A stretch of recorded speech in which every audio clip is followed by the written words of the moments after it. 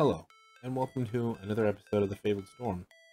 And today we're doing something a little different. Welcome to part one of a three-part series, which will be upgrading multiple PCs by basically taking one apart, or taking two apart really, and making two other PCs, and then building one from scratch. And by that I mean new motherboard, new all that stuff, but that will be the last in this line of videos. So the one you'll see next is where these parts actually came from. But this and this are going in here, as well as a power supply that I have over there. This is my uh, work PC for the company that I work for. It's still running Windows XP, and it can't get any updates, and it can barely run Google Chrome. This thing is, well, just short of garbage it does serve its purpose. It's just very slow, and then half the stuff doesn't work. It can't render anything right because it doesn't know how to do it. It's just a big problem. So, since I was able to get these PC parts out of the PC that I upgraded next, or technically, the way you're going to see them is the reverse order of which I upgraded them. But when I tore down that one, I got everything I needed for this. This is a Dell right? Dude, you're getting a Dell. Does anybody remember that? Or is just me? So anyway, it's not that great a PC. It's got a 300 watt power supply. It's running off a Pentium Celeron processor or some shit like that.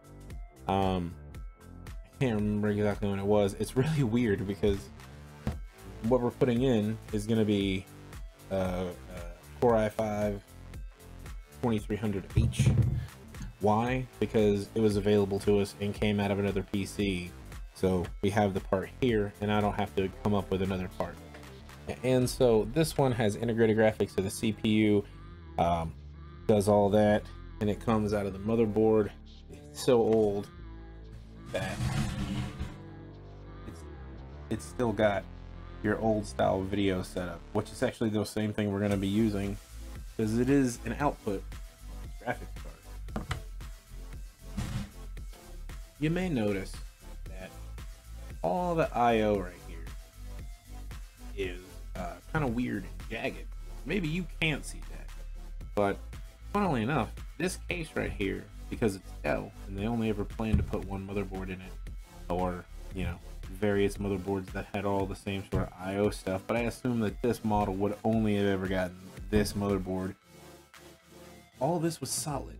It was not a removable I.O. shield let me show you what I mean. Many motherboards come with these, or pretty much all of them these days. And you'll put this into the slot, then mount the motherboard up to it. And what it does is it keeps you from bending and moving stuff around that's not supposed to, because this is going to help guide the stuff in. And it protects your components. This had it built into the case. So one angle grinder and a whiz wheel later and zip, zip, zip, zip, and clink, throw it away. Uh, all that so that I can run this IO um, with this motherboard in this PC. So it's about as basic as it gets. And yes, we will be moving from a fuller size board to a micro board, but this will do everything we need it to do versus this hunk of junk that barely does anything we need it to do. So let's go ahead and get this thing disassembled. But currently, we're just gonna disconnect everything, and the fact that that came off so easily actually is just a little concerning. And honestly, I don't care about being gentle with this motherboard because uh, the one that's in here sucks. And I mean, honestly, we're not even keeping this power supply, so I could break everything here, and as long as I have a power button, that's pretty much all I need to tell the PC to come on. All I'm doing is disconnecting everything from in here, so we gotta get all your USB headers unplugged. They do tell you what they go to, so this one, you can see they're color-coded on this motherboard, so if I really need to come back and check it once I have the motherboard out, I can go and look at that and it'll tell me. Let's see. Remove my SATA cables Do an optical drive. I got that SATA undone. That SATA cable's out. There I got power off on the board. Uh, fans don't matter. What is it? Because let's be honest, none of us are using this drive. Another motherboard control cooling fan, disconnect that. GPU fan fine. Certainly did not do that back in the day. So, that's my power button, and these are my USBs um, for the front slots here. All right, I'm back. Uh, had to get the precision screwdriver set and my main screwdriver removable bit, but magnetic, which is always nice so you don't lose stuff. Yeah, so this power supply will not be strong enough to do what we want it to do, so we won't be using that. We're going to be trying to do our best to move everything over that's going to make this thing run like a champ. Uh, tech tip. Don't whiz wheel your your IO stuff out unless you are willing to take that risk and you know what you're doing.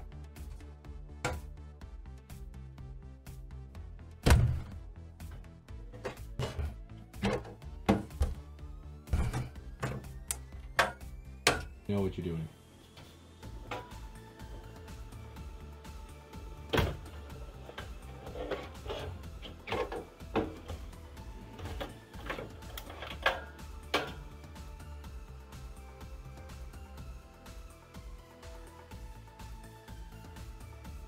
Anybody need a 300 watt power supply that's not rated 80 plus?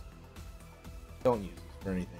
Plus, it won't power most modern stuff anyway. So unless you're building a really old PC or have an old one like this and you need to replace it with this, I wouldn't.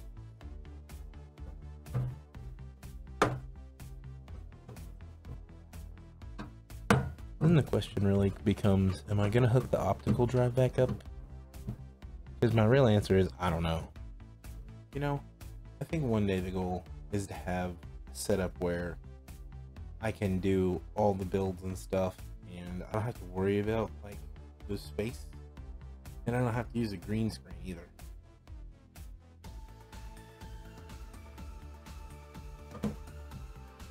I mean, technically, I guess I don't have to worry about it now. I just use it because it's much nicer than the space I actually have to work in.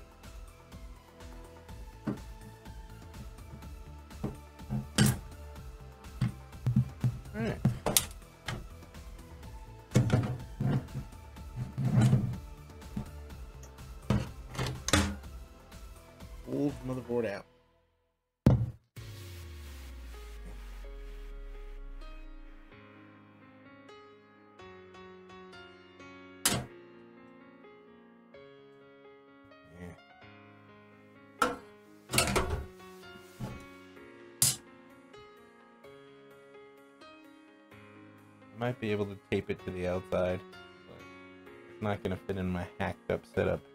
But that's perfectly okay.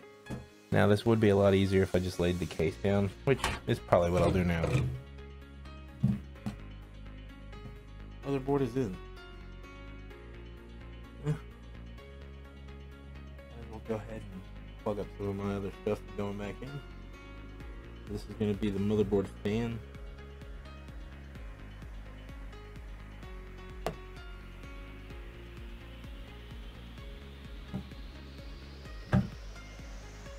We don't use any of the front panel for stuff except to run a Wi-Fi card, which I can put in the back and it'll work perfectly fine. And I'll run it in like a USB 3 port and it'll work even better than it did before. So that I'm gonna leave disconnected. I tried to leave rooms because I'm gonna have to put the graphics card back in over this. So I need to take out these slots right here and then run the new power supply and uh, yeah, most of it will be put back together. So let's keep going.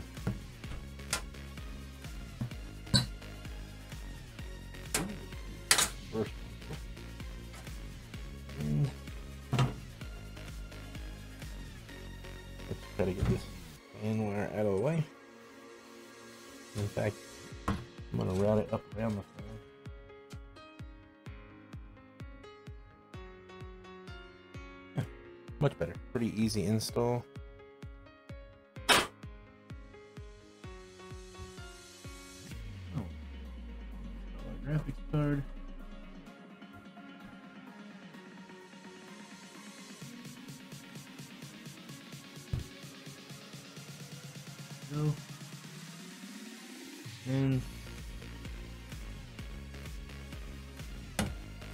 And a lock.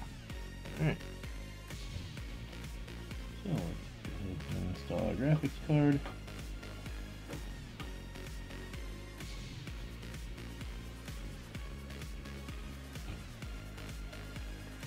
There we go. That's in.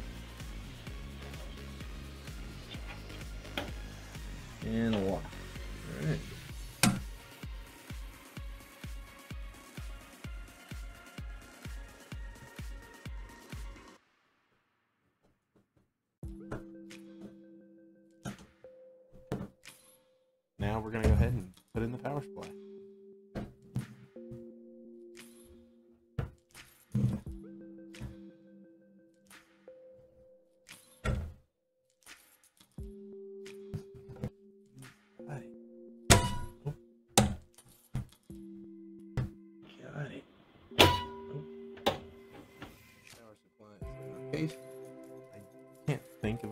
Supply that's not just held in with four screws in the back. Earlier I said bolts. Which I guess works. You have bolts. So,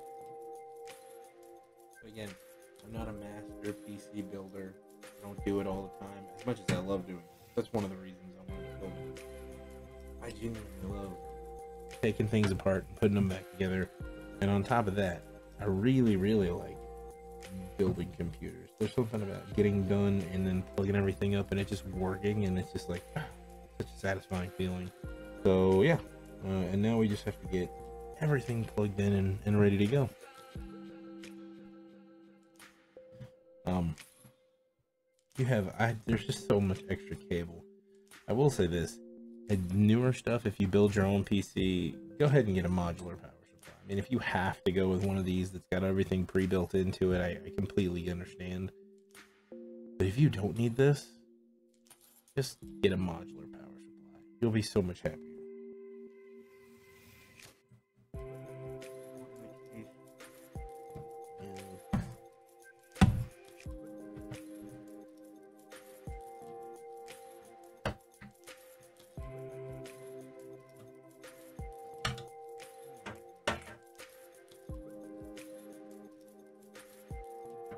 I don't know how big the hard drive is, I need to do work with the hard drive anyway.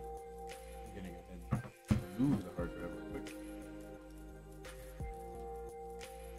Okay, we're back. Um, I'm gonna use a different hard drive. Going here.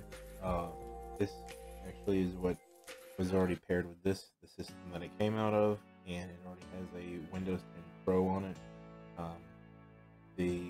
System that I'm moving over into the PC that all this stuff came out of also has Windows 10. Um, and it's all fully licensed and all that stuff, and this one is too. So, as much as I don't want to waste a terabyte hard drive, it is a hard drive, not an SSD, um, on a work computer. It's not going to kill me to do that, and it means that I don't have to do all the fuss and everything with everything else later. So, but for the most part, uh, this is sort of a plug and play upgrade setup. To be fair, I really hope the audio comes across well. I have no idea how it's going to sound because it usually be a lot closer, but uh, I'm in a big open space, so I'm trying to make sure that I have as good audio as I can get for such a big space. As you can see, I'm all the spaghetti on the inside of this thing. Um, it is not pretty, but it will be functional. So we got plenty of ventilation out the back because I wasn't able to install the IO shield, which only somewhat bothers me. I'm not that worried about it. Again, this sits in one spot and it's never going to move for the rest of its existence. So we got the power supply in. We got our motherboard, our graphics card on because it doesn't have onboard graphics. So we needed that in order to be able to see what's going on. Um, everything's been wire managed. We have our hard drive in. This case is a little different from what it came out of. It's not going to breathe as well as that case did, but I think it'll do just fine for what piece. And now for the moment of truth, we're gonna see if, well, if it's actually gonna work or it's gonna explode. So find out.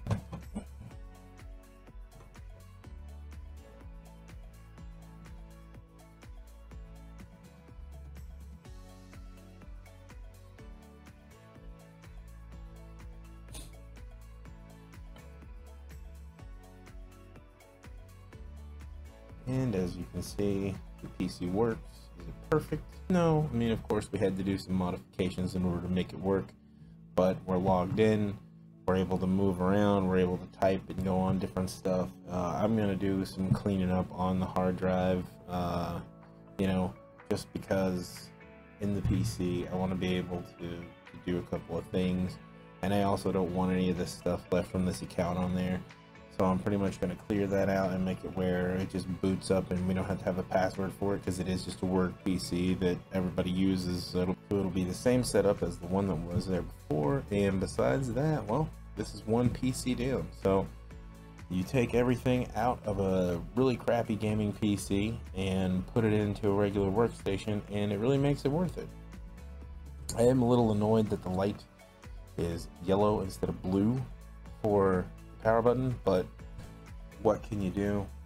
That's how it tells it to work, and that's what this motherboard tells this old ass case. So, for now, this at least works, which means we'll be able to take it to work, get everything set up, and uh, we'll be able to use it better, and we'll have Windows 10 to work on everything. Other than that, if you like this content or think you're gonna like the other stuff on the channel, like I said, it's normally gaming reactions and stuff like that, but I wouldn't mind doing more PC builds if the time arises, or I ever get to the point where I have enough money that I can do it very consistently, that would be pretty awesome. If you are interested in that, well, maybe I'll set up a Patreon or do something one day and um, we can make that part of the channel. We can do PC builds and gaming and everything else. I know that the usual shtick is to take your channels and divide them and have one thing here, one thing there, but on this channel, I kind of just want to post whatever I feel like. So if I want to talk about something, I want to build some PCs or disassemble them and move them into different cases, which is still building. Um, you know, I'm going to do it. Other than that, I hope you've had a wonderful time watching. I really appreciate it. Again, if you like this content, you can go ahead and like and subscribe, hit that notification bell, and drop a comment below. I will read them, and I do respond to them.